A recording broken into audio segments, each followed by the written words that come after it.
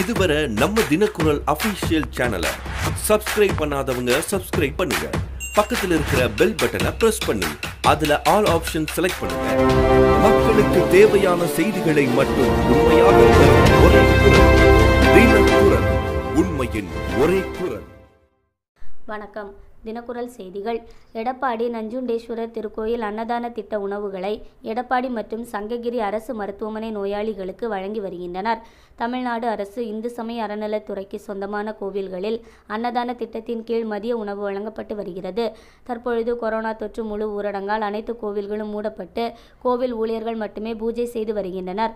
அதனால் அன்னதான திட்டத்தின் மூலம் சமைக்கப்படும் மதிய உணவை தூய்மை பணியாளர்கள் அரசு மருத்துவமனையில் நோயாளிகளுக்கு வழங்க அரசு உத்தரவிட்டது.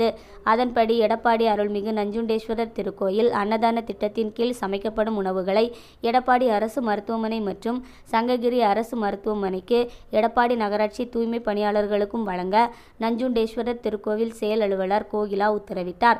அதன்படி எடப்பாடி அரசு மருத்துவமனையில் இருநூறு நபர்களுக்கும் சங்ககிரி அரசு மருத்துவமனையில் இருநூற்றி ஐம்பது நபர்களுக்கும் எடப்பாடி நகராட்சி தூய்மை பணியாளர்கள் ஐம்பது பேருக்கும் மொத்தம் ஐநூறு பேருக்கு மதிய உணவு கோவில் ஊழியர்களால் தினந்தோறும் தயாரிக்க தயாரிக்கப்பட்டு வழங்கப்பட்டு வருகிறது. இந்த மதிய உணவு கடந்த பதிமூன்றாம் தேதி முதல் வழங்கப்பட்டு வருவதாக நஞ்சுண்டேஸ்வரர் திருக்கோவில் நிர்வாகம் தெரிவித்தது. தினக்குரல் செய்திகளுக்காக எடப்பாடி செய்தியாளர் சிவானந்தம்.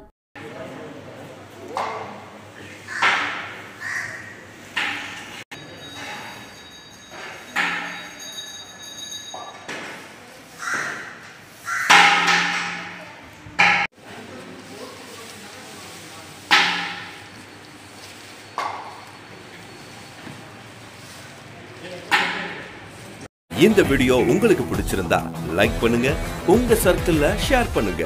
மறக்காம நம்ம தினக்குரல் அபிஷியல் சேனலை சப்ஸ்கிரைப் பண்ணிட்டு பெல் பட்டன்ல ஆல் ஆப்ஷனை செலக்ட் பண்ணுங்க.